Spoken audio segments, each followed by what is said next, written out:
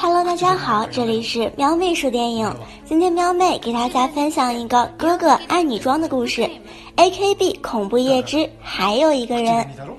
即将迎来大学生活的林子向爸爸提出要一个人住，爸爸对此不太放心。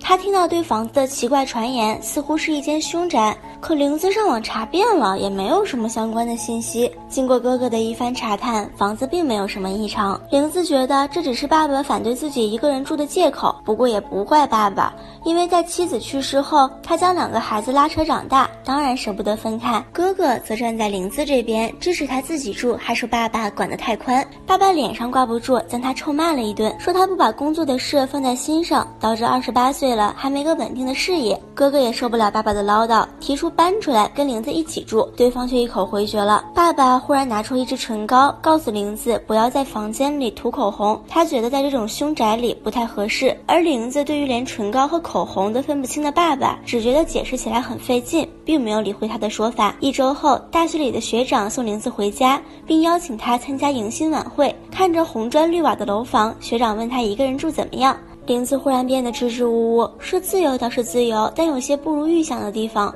犹豫了一会儿，玲子有一些不好意思地问学长，能不能去他家一趟。玲子坦白，她一直觉得家中有其他人的气息。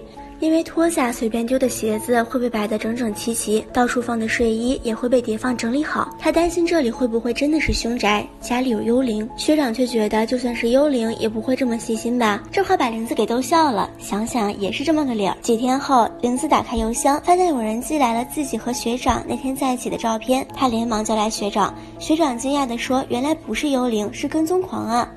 玲子打电话给爸爸求救，没想到他也收到了那些照片，还觉得玲子是因为这样随便的玩闹才一个人住，并认为他们需要马上谈一谈。玲子抱歉地说自己要先出门，学长则决定留下来。他发现有些照片是在阳台上拍的，觉得玲子一出门跟踪狂就会回来，到时候就知道是谁了。玲子回到家时，天色已经很晚了，她看到学长坐在走廊上，感觉大事不妙。学长将他的发现说了出来。下午在玲子打电话的时候，他就发现房间里有怪味儿，找到了在衣柜里剩下的食物垃圾。房子里居然还有一个人住着。学长让他通知家人赶紧搬出去。玲子连忙拨通爸爸的电话，但电话那头无人接听。他又想起哥哥，立刻打了过去。没想到那手机铃声在房间里响起，又马上被按停。两人循着声音找去，拉开衣柜门，没想到哥哥坐在里面。唇上涂着口红，身上穿着女性内衣，嘴里还说着“欢迎回家”，这把玲子吓出了一声尖叫。原来哥哥患有异装癖，后来他住进了医院。几天后，玲子在回家的路上跟爸爸聊着电话。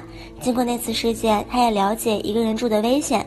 电话那头轻轻地说：“别怕，爸爸会保护你的。”忽然，周围响起一阵声音，玲子听见电话里有回声，她警惕地问起爸爸现在在何处。镜头一转，爸爸正在玲子的床上，不停地亲吻他最爱的那只玩偶。故事就结束了。看来哥哥的异装癖分明是爸爸遗传的，那妈妈的去世忽然就有点细思极恐了。日本人的脑洞是真的大呀！好了，今天就说到这里了，你的点赞和留言就是对面。